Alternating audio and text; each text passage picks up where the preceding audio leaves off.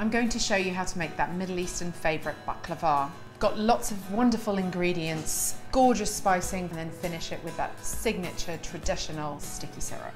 First I'm going to take the cardamom, I'm going to just quickly break them. Breaking them kind of releases all these little black seeds in there, they're wonderful. And that's really where the flavour of cardamom is, not so much the husks. Grind it down.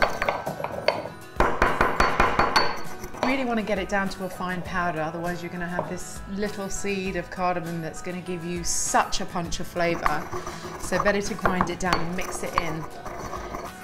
In with the ground almonds, chopped pistachios, some caster sugar, pinch of cinnamon, take the cardamom, use a spoon to scrape them out to make sure you get every last bit. Then two oranges and a lime.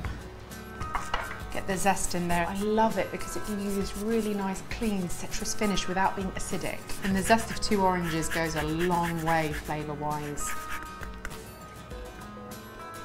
I give everything a good stir.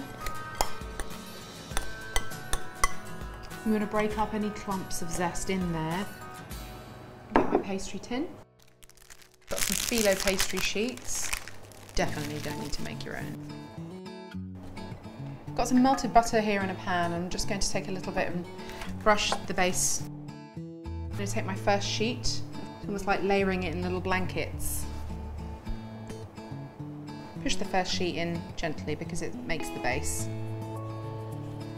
And then another two. Nice. Give my last three. Lay it crossways. Give it a good old brush of butter. Be generous because you've got six layers of pastry to get through. Otherwise you end up with very crispy pastry. A little bit too crispy for the tooth. Now, pile your nuts in. It's that easy. Just want to make sure it's fairly level. Next batch of pastry. Perfect just going to tuck these ends in. One final sheet on top. So that's five layers, nice perfect square. Now I'm just going to brush that with melted butter. And you want just enough melted butter to make sure that it kind of seeps through those layers of pastry on the top so they're not kind of powdery. Now the best tip I can give you is to make sure that you score your baklava before it goes in the oven. It becomes a lot harder to cut into slices if it's not scored before baking. Lovely. I'm going to put that in the oven for 25 to 30 minutes on 180 or bake it until golden brown. Whilst the baklava is cooking in the oven, I'm just going to make a quick syrup so we can drizzle it all over the baklava once it's done.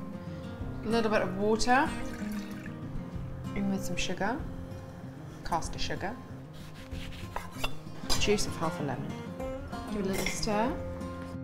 After 20 to 25 minutes, that would have thickened up into a nice syrup, so you can just turn it off and leave it to rest.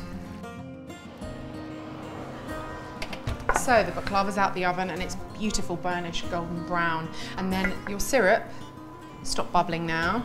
Literally, that's what's gonna make this baklava. So we're gonna just pour it over. And all we're gonna let it do now is soak up that lovely syrup, allow it to cool, slice it before we sit down and enjoy our gorgeous baklava.